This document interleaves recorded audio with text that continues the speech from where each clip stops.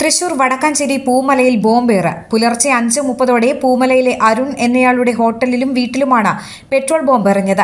പറമ്പായി സ്വദേശി സനൽ ചെപ്പാറ സ്വദേശി ജസ്റ്റിൻ എന്നിവരുടെ നേതൃത്വത്തിലുള്ള ഏഴംഗ ഗുണ്ടാ സംഘമാണ് സംഭവത്തിന് പിന്നിലെന്നാണ് വിവരം. പിന്നാലെ ഏഴംഗ ഗുണ്ടാ സംഘത്തെ വിയൂർ പോലീസ് കസ്റ്റഡിയിലെടുത്തു. ഒരു വർഷം മുൻപ് അരുണുമായി ഇവർക്ക് തർക്കമുണ്ടായിരുന്നു. കഴിഞ്ഞ ദിവസവും തർക്കം നടന്നതിന് പിന്നാലെ പോലീസിന് രഹസ്യങ്ങൾ ചോർത്തുന്നുവെന്ന് ആരോപിച്ചായിരുന്നു ബോംബേറുണ്ടായത്.